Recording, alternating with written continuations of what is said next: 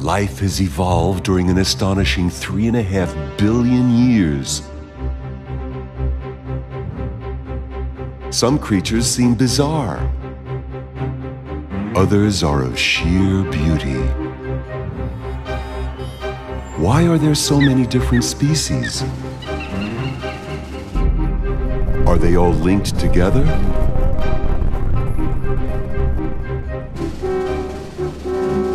Why are some more vigorous than others? One naturalist was working hard to reveal the history of life. Charles Darwin. Join a remarkable journey through time and history. The circumnavigation on board HMS Beagle